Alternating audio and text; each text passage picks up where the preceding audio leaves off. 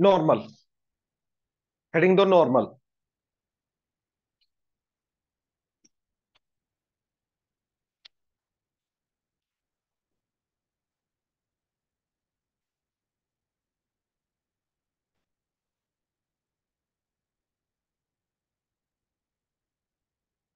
चले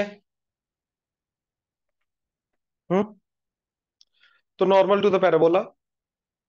ये पॉइंट है हमारा ठीक है तो नॉर्मल की डेफिनेशन जो होती है that is line perpendicular to tangent उसी पॉइंट पे जहां पे टेंजेंट बन रही है राइट right? नॉर्मल जो है वो टेंजेंट के बिना नहीं एग्जिस्ट करती क्योंकि टेंजेंट होगी तो उसके परपेंडिकुलर लाइन बनेगी ना तो normal is a line perpendicular to tangent at the point of tangency जिस पॉइंट पे टेंजेंट बन रही है उसी पॉइंट पे हमें क्या चाहिए टेंजेंट के परपेंडिकुलर लाइन तो उस लाइन को हम क्या बोलेंगे नॉर्मल ये समझ में आया श्योर अब यहां से क्लियर है कि जो नॉर्मल है that is perpendicular to tangent तो इसका मतलब ये है कि दोनों की स्लोप दोनों के बीच में एंगल 90 डिग्री है तो दोनों की स्लोप का प्रोडक्ट क्या होना चाहिए तो अगर मेरे पास टेंजेंट की स्लोप है तो मैं नॉर्मल की स्लोप निकाल सकता हूँ एंड पॉइंट वही रहेगा जहां पे टेंजेंट बनी है तो बेसिकली अगर नॉर्मल की इक्वेशन निकालनी है तो the only difference between the equation of normal and the equation of tangent is slope क्योंकि पॉइंट तो वही रहेगा जहां पे टेंजन बनी है एग्जाम्पल देखो मान लो ये कर्व है y equal to f of x random right इसके ऊपर एक पॉइंट है let say alpha comma beta इस पॉइंट पे टेंजेंट राइट right? ये एंड लेट इसका स्लोप आ रहा है एम वन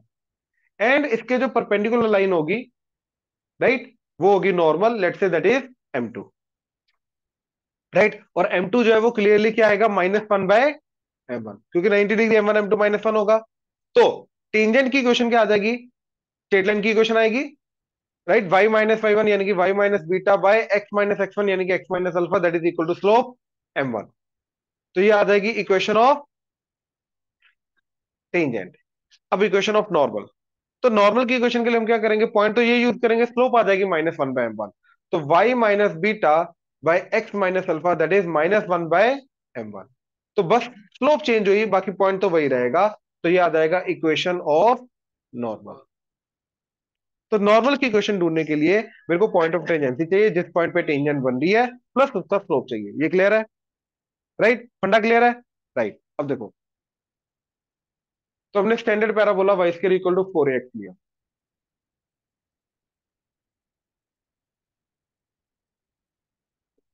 इसके ऊपर एक पॉइंट लिया ठीक है at square comma two at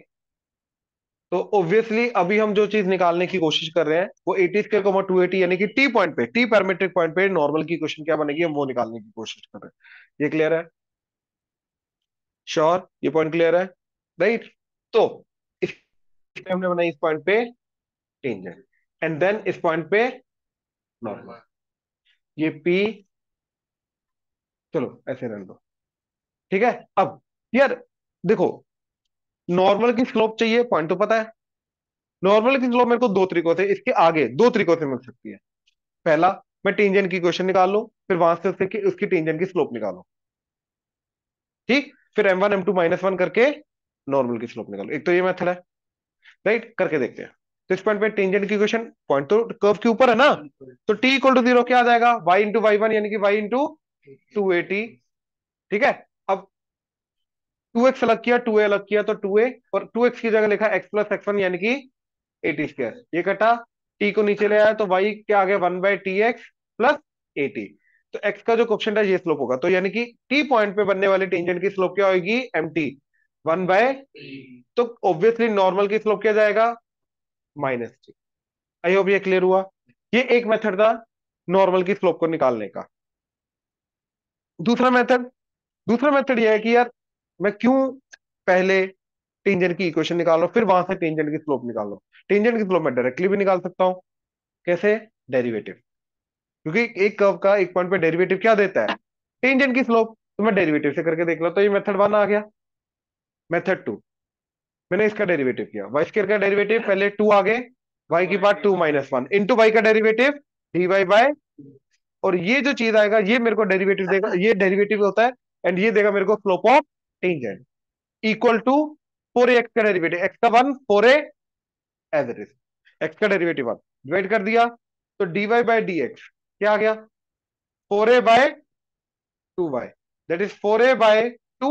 into अब जिस पॉइंट पे डेरिवेटिव चाहिए वो पॉइंट पुट कराना होता है लेकिन उस पॉइंट का एक्स चाहिए नहीं हमें उस पॉइंट का क्या पुट कराना है वाई वाई क्या है उस पॉइंट का टू एटी तो ये कटा वन बाय टी तो डेरिवेटिव से निकाल लो जाए टेंजेंट की इक्वेशन निकाल के उसका वाई को डेम एक्स प्लस सी से एक्स का क्वेश्चन एम निकाल लो तो तुम्हें मिलेगा वन बाय टी राइट तो टेंजेंट की slope one by t t point पे बनने parameter point t parametric point पे बनने वाले टेंजेंट की स्लोप जो होगी वो वन बाय टी होगी तो नॉर्मल की स्लोप क्या आ जाएगी माइनस टी तो फाइनली नॉर्मल की इक्वेशन पॉइंट पता है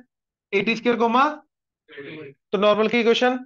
y minus y one that is two at divided by x minus x one यानी कि at square that is equal to right cross multiply करो माइनस एक्स टी आएगा minus three x ना तो इधर आके क्या हो जाएगा y plus x t minus two at as it is and ये बन जाएगा minus minus plus at cube तो इधर आके minus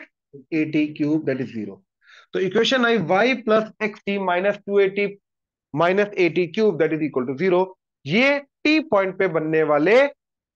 नॉर्मल की इक्वेशन ये समझे example y square equal to eight x ठीक है एंड वो बोल रहा है पॉइंट बोलो एक्स को चलो एट है ना एटी ले लो एट कोमा एटी आ जाएगा point eight comma eight point पे जो टेंजर बनेगी वो निकालो राइट अब यार ध्यान से देखो ये इक्वेशन किसकी फॉर्म में आ रही है एक्स वाई की फॉर्म में आ रही है ना टी की फॉर्म में आ रही है तो हमें उस पॉइंट का क्या चाहिए पैरामीटर हमें उस पॉइंट का एक्शन वाई नहीं चाहिए जहां पे नॉर्मल चाहिए बननी है हमें उस पॉइंट का क्या चाहिए टी पैरामीटर तो इस पॉइंट का सबसे पहले हम पैरामीटर ढूंढेंगे और इसको कंपेयर कराएंगे at square comma two at के साथ ए की वैल्यू तो two and two two the तो टी क्या आ गया टू टी आ गया टू तो टी इक्वल टू टू पे पैरामेट्रिक मतलब सॉरी uh, अपना टी इक्वल टू टू पे जो नॉर्मल बनेगी वो इक्वेशन चाहिए राइट मान लो मेरे को ये नहीं भी याद अगर तो याद है फिर तो ए एन टी की वैल्यू पुट करनी है क्या आ जाएगा वाई प्लस टी एक्स तो टी की वैल्यू टू तो टू एक्स ए की वैल्यू टू टी की value two two two two two minus eight eight into two minus sixteen equal to zero तो y plus two x minus twenty four that is equal to zero तो ये आगे normal की question ये clear है अब मान लो लेकिन मेरे को ये क्वेश्चन याद नहीं है स्टिल मेरे को नॉर्मल की क्वेश्चन निकालनी है पॉइंट पता है अब टी भूल जाओ पॉइंट पता है मैं उस पॉइंट पे इसका क्या निकालूंगा डेरिवेटिव वो देगा टेंजेंट का स्लोप फिर m one m two equal to minus one करके क्या निकालूंगा नॉर्मल का स्लोप फिर वो पॉइंट को एंड वो नॉर्मल के स्लोप को यूज करके मैं नॉर्मल की इक्वेशन निकालूंगा बात समझे राइट अगर ये नहीं भी याद मैं तब भी निकाल सकता हूं कैसे अगेन इसका डेरिवेटिव करो क्या आ रहा है क्या गया two y y dash that is eight क्योंकि एक्स का डेरिवेटिव क्या जाएगा वन तो वाई डैश क्या आ गया टू कटा फोर तो फोर बाय वाई कौन से पॉइंट पे चाहिए अपने को एट को माइट पुट करो four by eight that is one by two तो ये आगे स्लोप ऑफ टेंजेंट तो नॉर्मल की स्लोप क्या आएगी m of normal that is point eight को मैं अटैच तो y minus eight by x minus eight that is equal to slope of normal that is minus two तो y minus eight that is equal to minus two x plus sixteen eight को उधर ले जाओ two x को इधर तो y plus two x that is equal to you're getting the same equation समझे दोनों तरीके बता दिए बट इक्वेशन याद रखना बहुत जरूरी है चाहिए जैसे Y equal to M X plus A by M tangent की स्लोप की टेंजन की इक्वेशन है राइट ये टी पॉइंट पे बनने वाली टेंजन टेंजेंट की क्वेश्चन है ऐसे ही ये क्वेश्चन टी पॉइंट पे बनने वाले नॉर्मल की जो इक्वेशन है ये भी हमें चाहिए आगे यूज होएगा इसका क्लियर हुआ यहां तक कोई डाउट यहां तक अब बोलो बीच में कोई कुछ बोल रहा था हम्म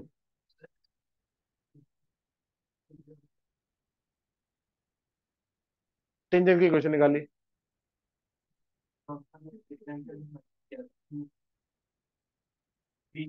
उसका यूज क्या होता है भाई साहब ये जो बोल रहा है बिल्कुल सही बोल रहा है राइट एक स्टेट लेना है x plus b y plus c equal to zero point समझे राइट अब उसके परपेंडिकुलर लाइन क्या होगी एक्स एंड वाई का क्वेश्चन इंटरचेंज एक का क्वेश्चन हम उल्टे साइन का कर देते हैं plus lambda equal to zero उसके परपेंडिकुलर लाइन आ जाती है तो क्या क्या, क्या क्या ये कह रहा है कि क्या इससे हम नॉर्मल की क्वेश्चन निकाल सकते हैं भाई उसके अंदर लेमडा वेरी करेगा तो हमें सारी की सारी लाइन आएंगी तो पॉइंट पुट करके लेमडा ढूंढना पड़ेगा राइट वो मेथड सही है बट क्या हर जगह लग सकता है नहीं यहाँ पे वो बहुत लंबा लेके जाएगा क्योंकि पहले मेरे को लेमडा ढूंढना पड़ेगा फिर लेमडा वापस पुट कराना पड़ेगा इससे अच्छा मैं डायरेक्टली स्लोप ढूंढने के बाद डायरेक्टली इक्वेशन निकाल सकता हूँ ज्यादा छोटा पड़ा देखो हर मेथड हर जगह लगेगा क्या नहीं हमें खुद सोचना पड़ेगा मेथड वैलिड है मेथड गलत नहीं पॉइंट समझे श्योर जल्दी अब आ, ये था पॉइंट फॉर्म सेकेंड लिखो स्लोप फॉर्म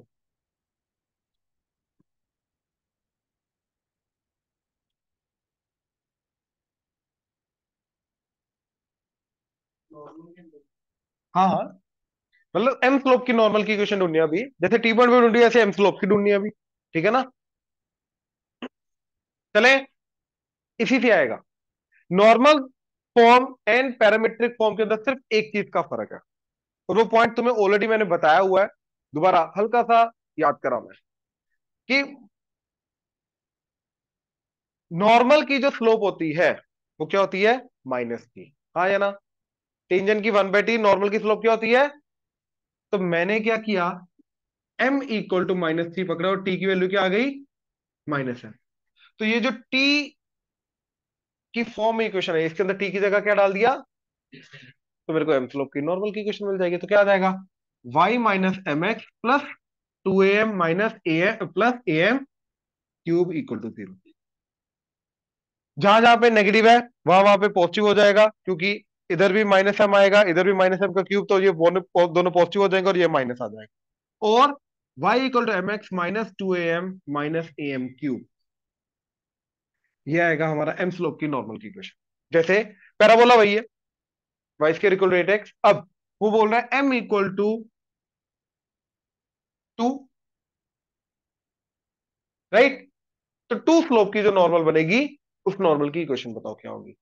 ठीक है टू फ्लो की जो नॉर्मल की इक्वेशन आएगी वो क्या आएगी तो क्या आएगा y equal to two x m x minus two into a क्या था इसका two m b two minus two का क्यूब इंटू टू सिक्सटीन तो y equal to two x minus twenty four ये क्लियर है यही आ रहा है ना श्योर दोनों अलग है वो माइनस टू स्लोप की थी ये टू स्लोप की है क्लियर हुआ ये श्योर एम स्लोप का और पैरामेट्रिक पॉइंट का फर्क पता चला लेकिन दोनों के अंदर रिलेशन सेम है ऑलमोस्ट बस ये रिलेशन के कारण ये दोनों इक्वेशन अलग हो जाती है ठीक है तो लिख सकते हो कि s t is equal to minus m for normal s t is equal to minus m for normal substitute this in the point form substitute this in the point form to find equation in slope form. Substitute this in the point form to find equation in the slope form. तो बस ये point form जो ये t वाली जो आया इसके अंदर टी की जगह माइनस एम पुट कर दो तो तुम्हें एम स्लोप की नॉर्मल की क्वेश्चन मिल जाएगी एग्जांपल नोट कर लो ये तुम टेंजेंट में भी कर सकते हो फायदा वे ये टेंजेंट में भी वैलिड है क्योंकि टेंजेंट की स्लोप क्या है वन बाय टी तो टी की जगह वन बाय एम पुट कर दो तो ये जो इक्वेशन आई थी इसी के अंदर टी की जगह वन बाय एम पुट कर दो तो क्या आ जाएगा वाई इक्वल टू ये आ जाएगा m x plus a into t की जगह वन बाय एम तो आ जाएगा तो ये तो होती है एम स्लोप की टेंजेंट की इक्वेशन तो इसमें भी वैलिड है ऐसा नहीं कि सिर्फ नॉर्मल में वैलिड है ये समझे ना टी की जगह वन बाय एम पुट किया तो टेंजेंट का रिलेशन आ जाएगा है ना चलो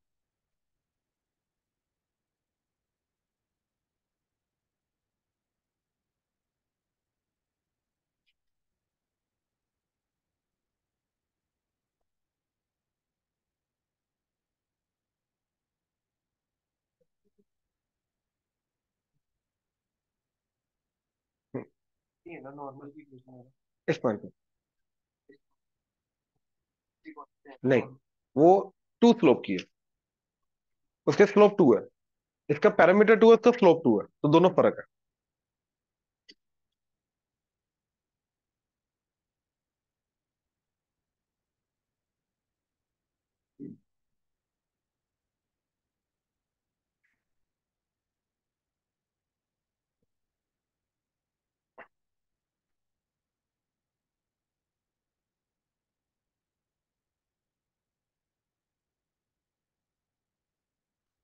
चले।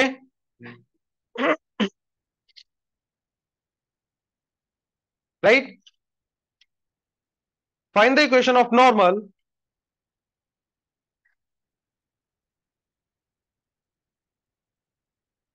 To the parabola y square equal to 4x. To the parabola y square equal to 4x. At the end point of LR.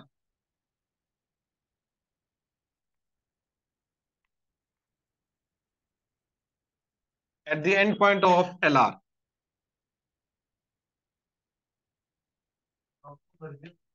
दोनों निकाल लें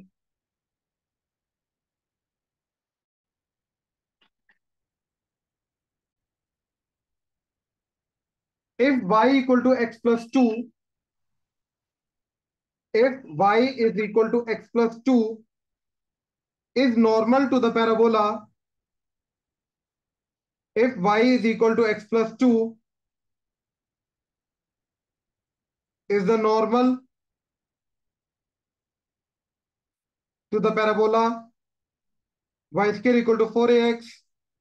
then find a then find a तो पहला क्या था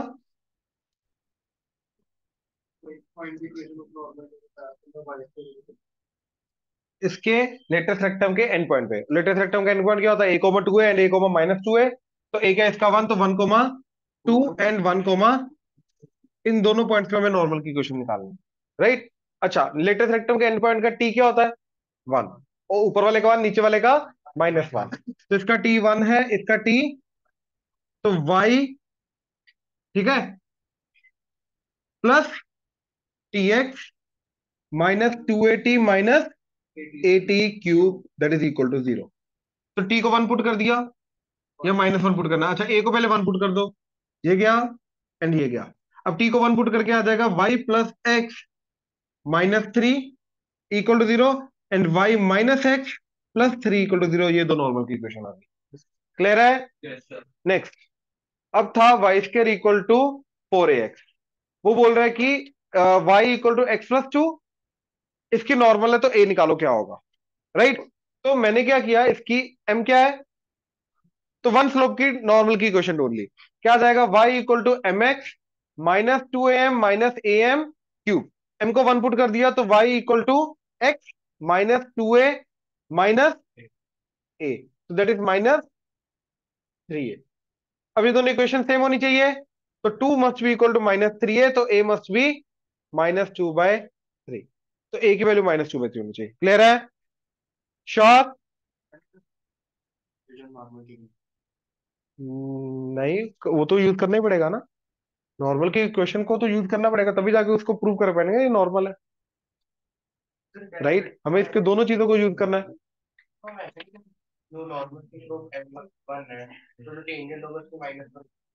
तो उससे क्या बनेगा हाँ क्या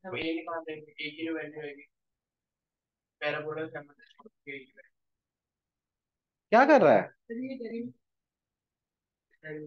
क्या कर रहा है तूने बोला कि मैं अरे प्लीज इधर तूने बोला नॉर्मल की स्लोप आ रही है वन तो टेंजेंट की स्लोप आ गई माइनस वन राइट वहां से तूने माइनस वन स्लोप की टेंजेंट की इक्वेशन ढूंढी फिर उसका क्या करेगा नॉर्मल टेंजेंट है टेंजेंट और नॉर्मल का पॉइंट ऑफ इंटरसेक्शन वो तो वही पॉइंट ही आ गया ना जहाँ पे टेंजेंट बन रही है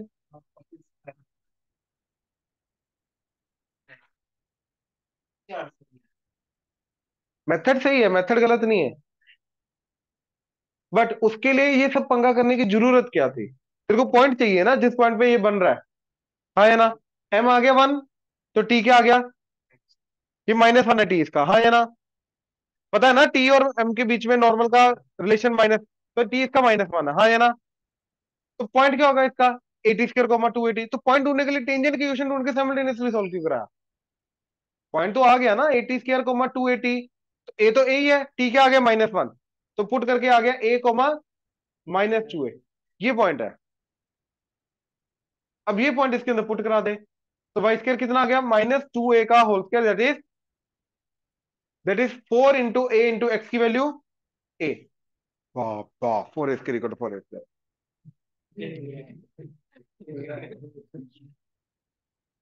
तो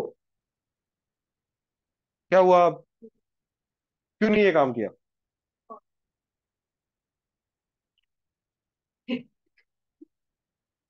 क्योंकि एटी स्क्र को टू एटी तो पैराबोला को हमेशा सेटिस्फाई करेगा ही करेगा अब तेरे को इसको तो यूज करना ही पड़ेगा जो तू अभी तक कर नहीं रहा क्योंकि तूने इसका यूज ही नहीं किया भाई तो करना पड़ेगा ना इसलिए नॉर्मल की क्वेश्चन को तो यूज करना पड़ेगा जो मर्जी हो जाए ऐसे नहीं आएगा और वो एक स्टेप में भी हो जाता आगे लिखो properties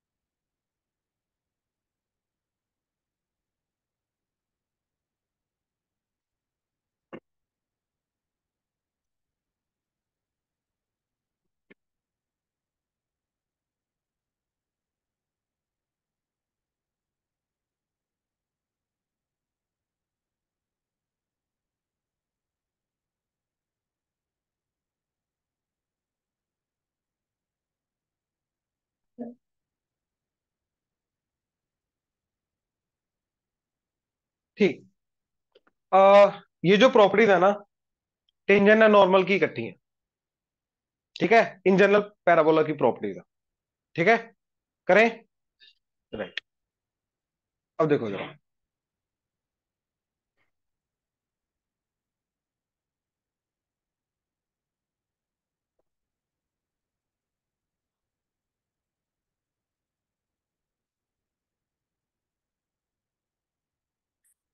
y square equal to four a x ठीक है इसके ऊपर हमने एक पॉइंट लिया a t square comma two a t इस पॉइंट पे बनाई तीन जाए एंड ये आ गया इसका directrix x x equal to minus a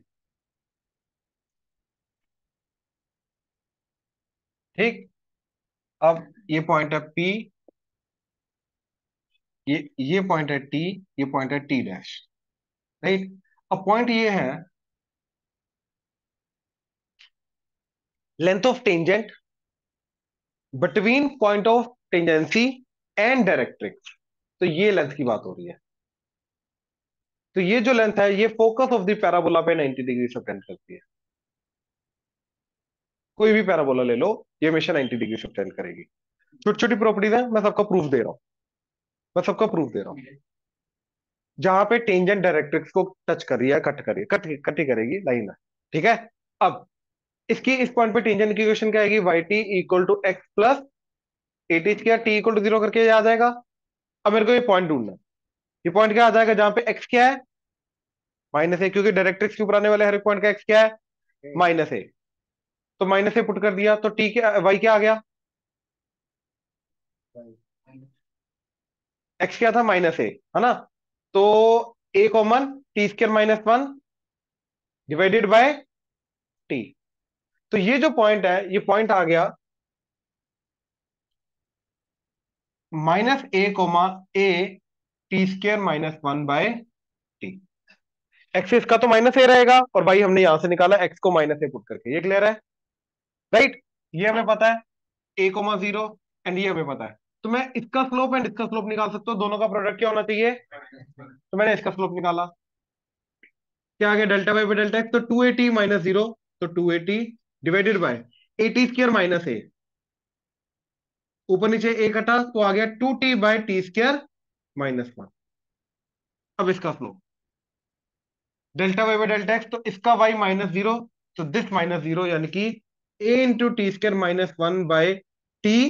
minus zero तो यही रहेगा डिवाइडेड बाय डेल्टा एक्स यानी कि इसका x minus a minus a minus two a ये घटा तो क्या आ गया t square minus one by t into minus two तो माइनस आ जाएगा नीचे आ जाएगा टू टी अब देखो इन दोनों का प्रोडक्ट करोगे टू टी टू टी कटेगा t square minus one t square minus one कटेगा तो क्या बचेगा माइनस वन तो एम वन एम टू आ जाएगा माइनस वन हेंस ये परपेंडिकुलर होंगे राइट तो पॉइंट है length of the tangent intercepted between the point of tangency and the directrix always subtend right angle at focus ये समझे sure देखो length of tangent intercepted between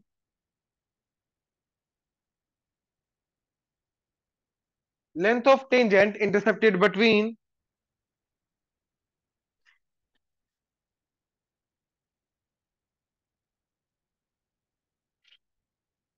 point of tangency and directrix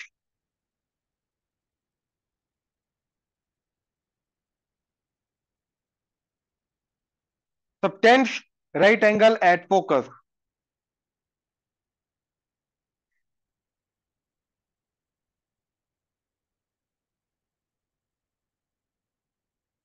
subtends right angle at focus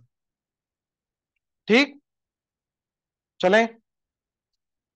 जल्दी से diagram बना लो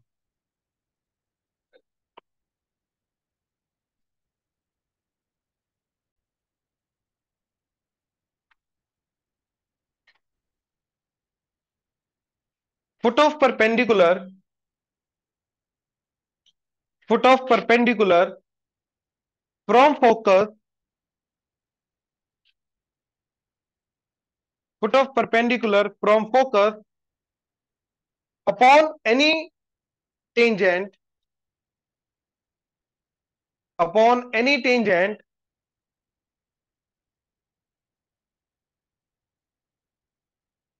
put of perpendicular from focus upon any tangent lies on tangent at vertex.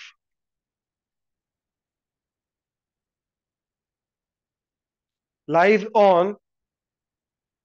tangent at vertex.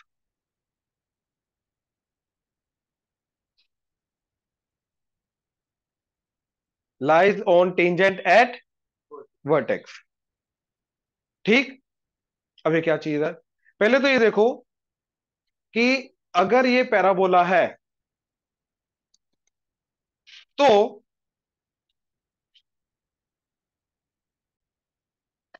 तो जो इसका vertex है उस पर tangent क्या बन रही है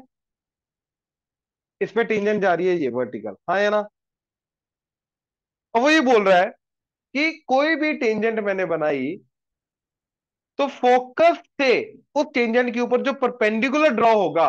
वो परपेंडिकुलर जहां पे मीट होगा वो फुटो परपेंडिकुलर होगा तो वो पर, फुटो परपेंडिकुलर कहां पे लाई करेगा वो इसी लाइन के ऊपर लाई करेगा यानी कि ये पॉइंट यहां पे आएगा हमेशा कोई और टेंजेंट बनाओ देखो इधर जैसे से इधर टेंजेंट बनाई तो इसी फोकस से उस टेंजेंट के ऊपर परपेंडिकुलर वाला जो पॉइंट आएगा वो पॉइंट हमेशा कहां पे लाई करेगा वो इसी लाइन के ऊपर लाई करेगा और कहीं नहीं लाई कर सकता ये समझे यानी कि हमें प्रूव करना है कि ए कोमा जीरो से इसका एम वन टेंजेंट का एम वन एंड इसका एम टू इस लाइन का एम टू ये दोनों का प्रोडक्ट हमेशा क्या होगा अब देखो ये तो टेंजेंट का स्लोप है पॉइंट है a t square comma two a t तो टेंजेंट का स्लोप क्या आएगा वन बाई टी याद है टेंजेंट का स्लोप तो वन बाई टी होता है अब टेंजेंट की question y t is equal to x plus तो ये पॉइंट क्या है ये वाई एक्सिस है ना तो वाई एक्सिस के ऊपर पॉइंट क्या होता है एक्स को जीरो पुट करके आएगा तो एक्स को जीरो पुट करके पॉइंट क्या आ गया टी कटा एटी तो वाई क्या आ गया एटी तो ये पॉइंट आ गया जीरो कोमा तो भैया मैं तो इसका भी स्लोप ढूंढ सकता हूं delta y by delta x करके क्या जाएगा a t minus zero upon zero minus a that is m two कटा तो क्या आ गया तो एम वन आ रहा है one by t m two आ रहा है माइनस ए तो ऑब्वियसली परपेंडिकुलर हो गए राइट तो ये से 90 डिग्री बनेगा बनेगा तो इसलिए फोकस से टेंजेंट के ऊपर जो परपेंडिकुलर फोटो परपेंडिकुलर आएगा ये ये कहां पे लाई करेगा वर्टेक्स पे जो टेंजन बनती है उसी के ऊपर लाई करेगा क्लियर हुआ जल्दी वाई एक्सिस के ऊपर एक्स जीरो होता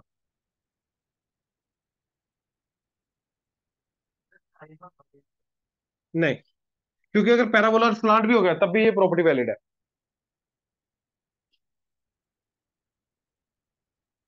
है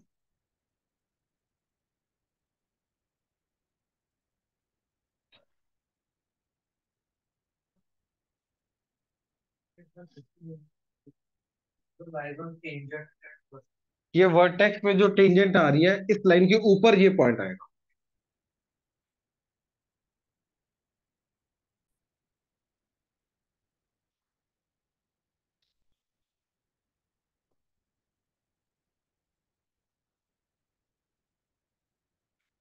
no normal other than the axis of the parabola no normal other than the axis of the parabola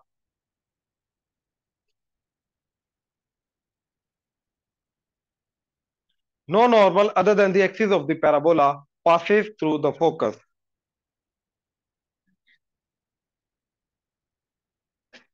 passes through the focus तो हमें प्रूव करना है कि पैराबोला का जो नॉर्मल है राइट वो फोकस से तभी पास कर सकता है अगर वो नॉर्मल क्या है उसका एक्सेस अदरवाइज कोई और नॉर्मल बन ही नहीं सकता जो उसके फोकस से पास करे ठीक है तो देखो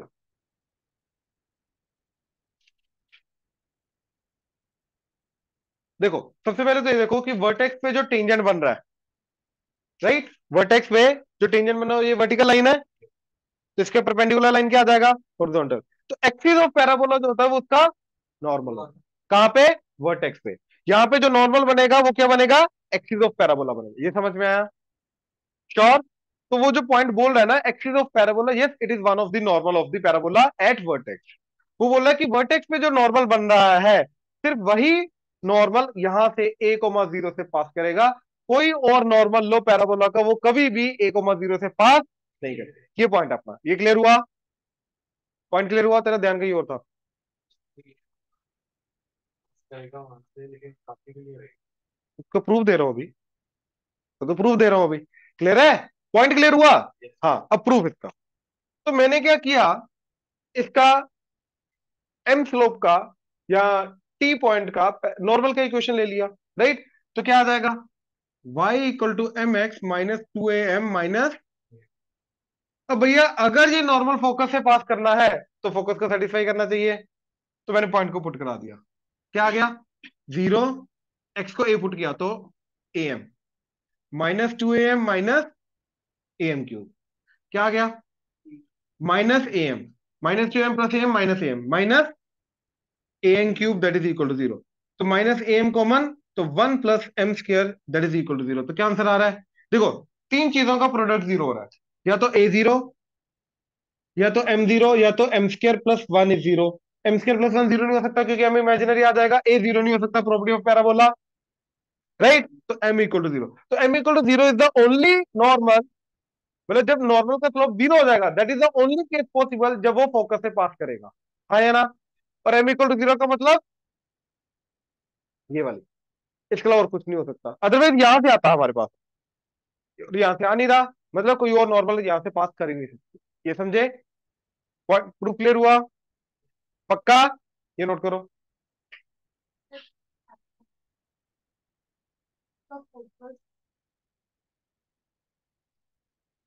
ये ठीक है इस पैराबोला की बात कर रहे हैं ये इसका डायरेक्ट्रिक्स ये इसका फोकस अब बोलो ये एक्सिस हाँ बट इसका कोई भी और जो नॉर्मल है मैं ये बोल रहा हूँ कोई भी नॉर्मल यहां से पास नहीं करेगा सिर्फ यही वाला नॉर्मल होगा जो पास करेगा जो इसके वर्टेक्स पे नॉर्मल बना बेसिकली और वर्टेक्स पे जो नॉर्मल है वो तो एक्सिस ऑफ पैराबोला ही होता है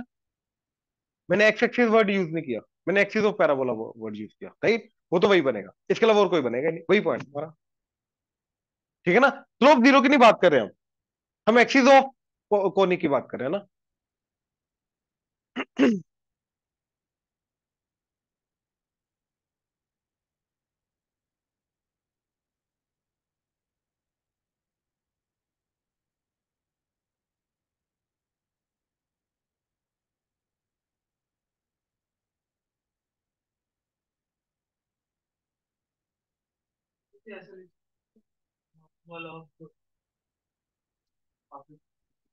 normal at vertex is the only normal that passes through focus and no other normal will pass through the focus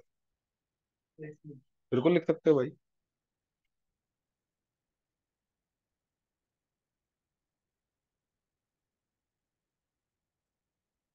देखो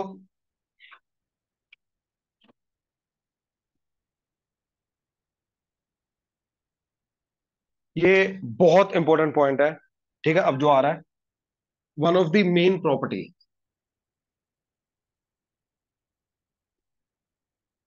ठीक है प्लीज ध्यान से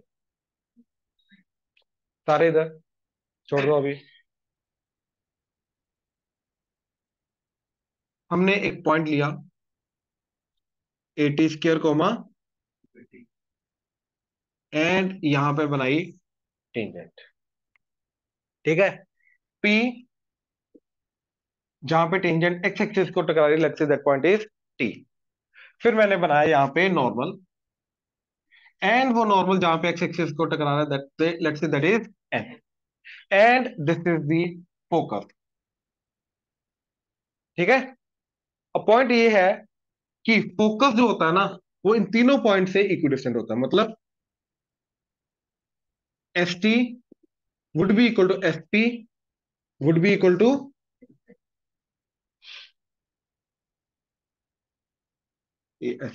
ये तीनों के तीनों बराबर होंगे जो मर्जी हो जाए ये सिर्फ इतने नहीं इसका एक अगला प्रॉपर्टी जो आएगा वो इसका इसी का एक्सटेंशन आएगा ठीक है तो इसलिए पहले इसको समझो ये क्लियर हुआ राइट अब यार प्रूफ करना है बहुत सारे तरीके करने के प्रूफ ठीक है देखो सबसे पहले मैंने टेंजेंट की क्वेश्चन निकाली क्या आ गया y t equal to x plus a t square तो पॉइंट टी जो होगा वो एक्स जो टेंजेंट है जहां पे एक्स एक्सिस को टकराएगी वो आएगा एक्स एक्सिस पे वाई क्या होता है तो वाई को जीरो पुट कर दो इसको जीरो पुट किया तो ये क्या आ गया माइनस एटी स्क्र तो पॉइंट आ गया माइनस एटी स्क्र कोमा ये आ गया टी पॉइंट हाँ या ना श्योर तो भैया मेरा एस टी क्या जाएगा देखो ध्यान से ये लेंथ कितनी है ए ये लेंथ कितनी आई माइनस एटी स्क्र उसकी वैल्यू ड्यू टू नेगेटिव है लेकिन उसकी वैल्यू क्या होगी एटी स्क्र लेंथ क्या होगी तो टोटल एस टी कितना आ जाएगा ए प्लस एटी स्क्र ये आ गया एस टी कोई डाउट इसमें श्योर ये पता चला ना negative sign is due to the direction वो हटा के हम बेसिकली लेंथ लेके जाएंगे अच्छा अब उसके बाद मैंने नॉर्मल की क्वेश्चन निकाली उसी पॉइंट पे तो y equal to minus t x plus two a t plus a t cube यही था अब ये नॉर्मल देखना एक्स एक्सिस पे कहां पे टकरा रही है तो वाई को क्या पुट करेंगे तो पॉइंट एन के लिए इसके अंदर क्या पुट कर दिया वाई को जीरो ये जीरो हो गया ये इधर आया तो t x that is equal to t a t common क्या आएगा टू प्लस टी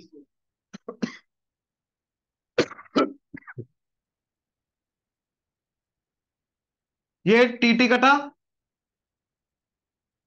ये समझे देखो अपने को एक्स चाहिए ना अपने को टी तो चाहिए नहीं तो क्या आ गया two a plus a t square तो पॉइंट आ गया two a plus a t square comma zero right अब ध्यान से देखो ये लेंथ कितनी आ रही है two a plus a t square comma zero वो तो वाई था और ये लेंथ कितनी है तो ये लेंथ कितनी बचेगी दिस माइनस दिस करके तो एस एन कितना आ गया ए प्लस तो ये तो दोनों सेम आ गया एस टी इक्वल एन हो गया हाँ या ना अब एस पी के बराबर प्रूव करना है अब एस पी के बराबर प्रूव करने के लिए मैंने ये देखा एस पी एक्चुअली में क्या है इस पॉइंट का फोकस से डिस्टेंस फिर किसी भी पॉइंट का फोकस से डिस्टेंस क्या होता है उसका डायरेक्ट्रिक्स से डिस्टेंस वो तो सेम होता है तो मैं स्टेट ऑफ फाइंडिंग उस पॉइंट का फोकस से डिस्टेंस एस पी मैं क्या करूंगा उसका डायरेक्ट्रिक्स से डिस्टेंस निकालूंगा अब देखो ये डायरेक्ट्रिक्स ये डिस्टेंस निकालूंगा क्योंकि पीएस इज इक्वल टू अब देखो ये क्या आएगा इस पॉइंट का वाई एक्सिस से डिस्टेंस वो क्या होगा इस पॉइंट का एक्स किसी भी पॉइंट का वाई एक्सिस से डिस्टेंस क्या होता है उस पॉइंट का एक्स क्या आ रहा है वो तो ये आ गया एटी स्क्र और ये कितना है ए तो दोनों मिला के कितना आ जाएगा तो मेरा S P would be equal to P M that is a plus a t square health तीनों के तीनों हमारे बराबर होंगे ये क्लियर हुआ श्योर देख लो जल्दी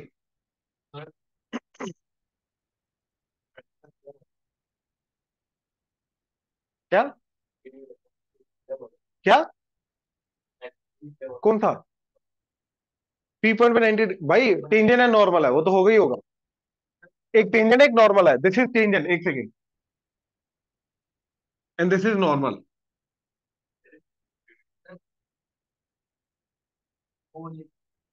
diagram बना के S P equal S T equal S L यही लिखना है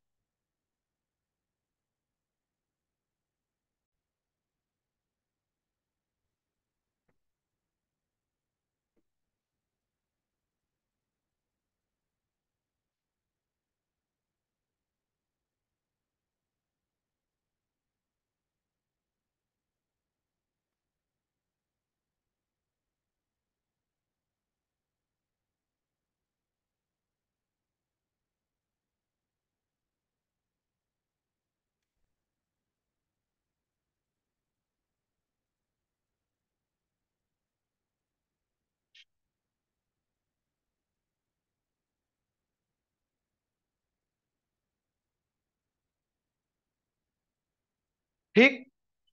अच्छा अब ध्यान से देखना जरा ठीक है कि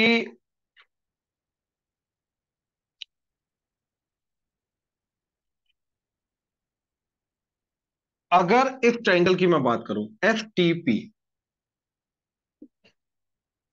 प्लीज इधर Aryan S T P triangle की बात करूं ठीक है एफ टी पी तो F P equal to S T तो ये थीटा और ये थीटा ऐसा फिस्ट एंगल ना हाँ है ना अब क्योंकि ये लाइन और ये लाइन पैरल है क्योंकि ये परपेंडिकुलर है ना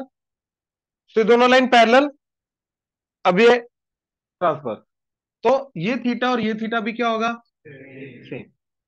तो इसका मतलब ये है कि जो टेंजेंट है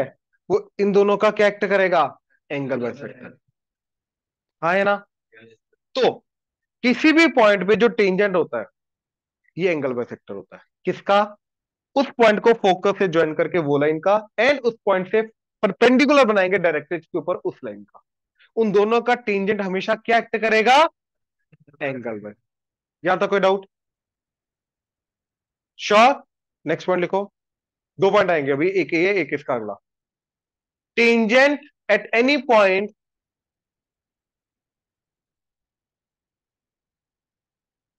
tangent at any point is the angle bisector of the angle formed by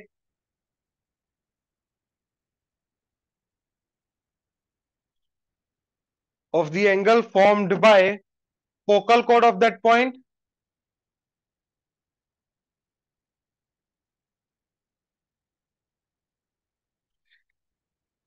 and perpendicular line from that point on directrix and perpendicular line from that point on directrix clear है ये diagram बना लो तो P point पे एटीज के ही तो है नहीं नहीं नहीं वो ब्रैकेट का था इशू थोड़ा एटीज केयर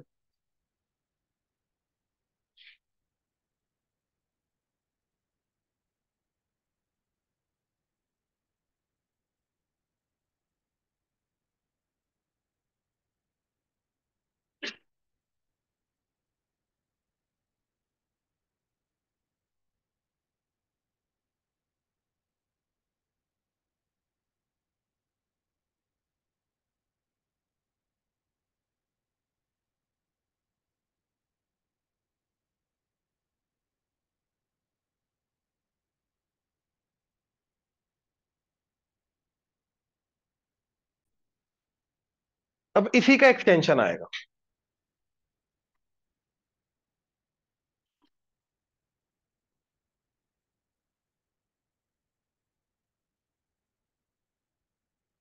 देखो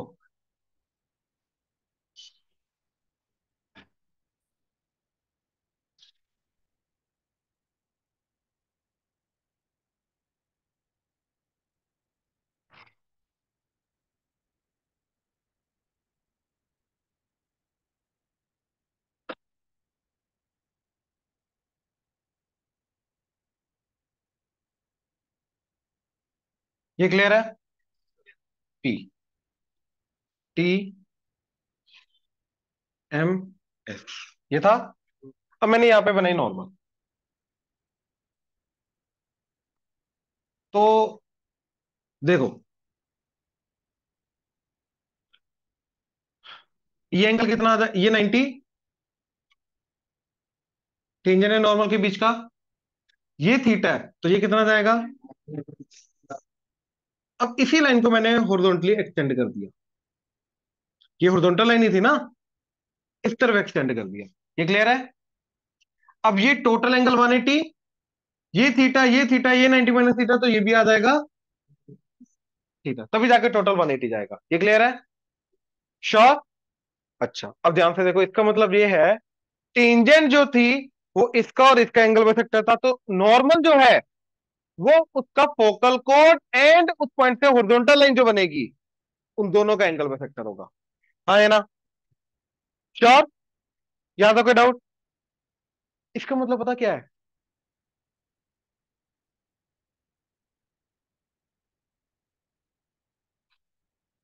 कि अगर ये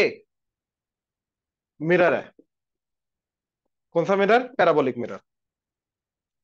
ठीक है एंड कोई भी रे हॉरिजॉन्टल आई तो रिफ्लेक्ट होने के बाद angle of incidence equal to angle of reflection करने के बाद ये कहां से पास करेगी फोकस से पास करेगी क्यों क्योंकि इस पॉइंट पे हमने बनाई नॉर्मल और उसके साथ तो एंगल ये क्या आएगा सेम आएगा एंगल ऑफ इंसिडेंस नॉर्मल के साथ करते हैं ना तो ये दोनों तो सेम है तो इसलिए कोई भी लाइन जो कि हॉरिजॉन्टल आ रही है हॉरिजॉन्टल का मतलब एक्सिस के पैरेलल है वो रिफ्लेक्ट होने के बाद पैराबोला से कहां से पास करेगी एंड इनफेक्ट फोकस से पास करने के बाद फिर से वो हो जाएगी हॉरिजॉन्टल ये समझ में आया अब ये सोचो हमारे जितने भी डिश होते हैं वो पैराबोलिक की होते हैं राइट right? क्योंकि पहली बात तो सिग्नल हम अज्यूम करते हैं बहुत दूर से आ रहा है इन्फानाइट से आ रहा है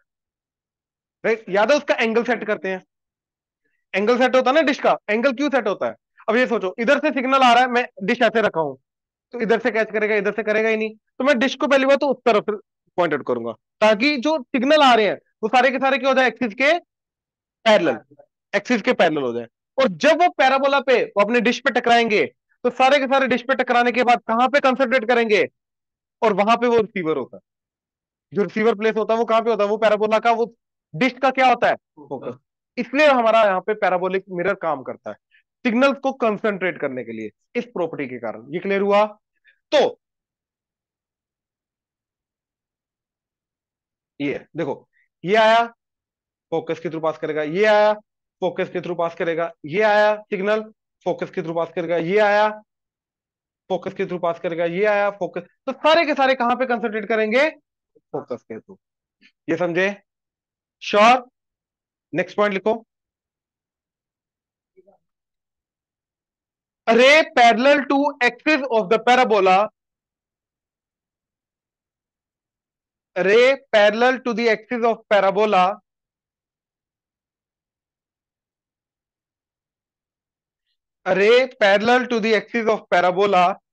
after reflection, after reflecting from the parabolic mirror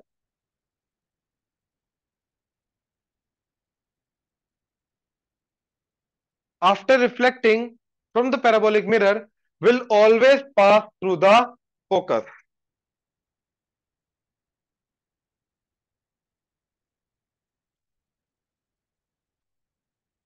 Will always pass through the focus. Clear Example.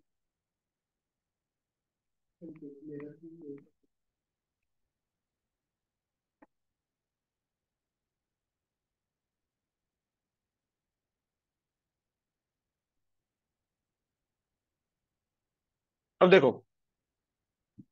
मान लो parabola y square equal to four x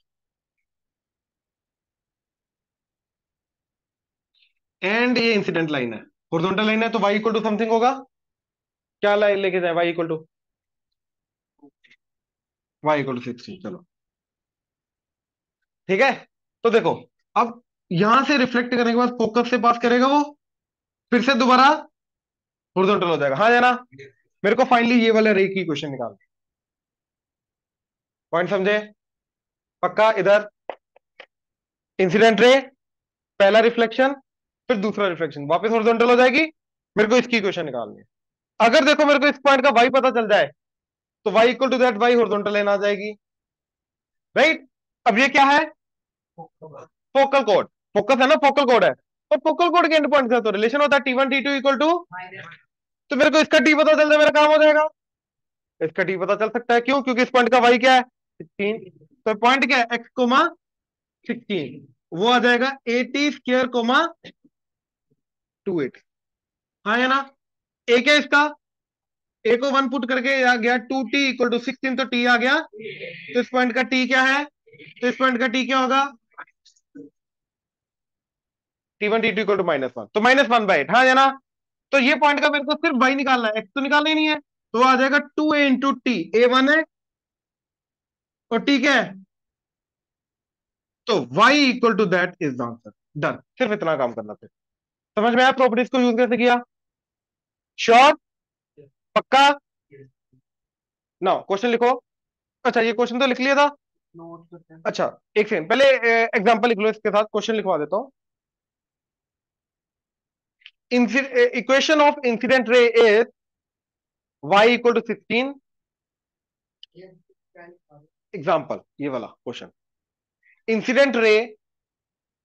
equation of incident ray is या incident ray lies along the line ऐसा भी लिख सकते हो y equal to sixteen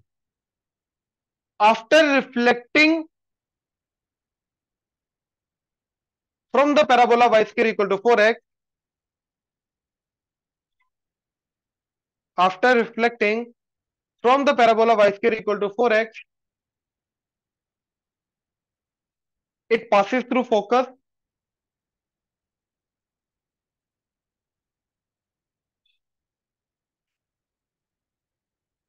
and again it get reflected. ठीक है ना पहली रिफ्लेक्शन के बाद फोकस से पास करेगा फिर से दोबारा रिफ्लेक्ट करेगा right find the equation of the ray after the second reflection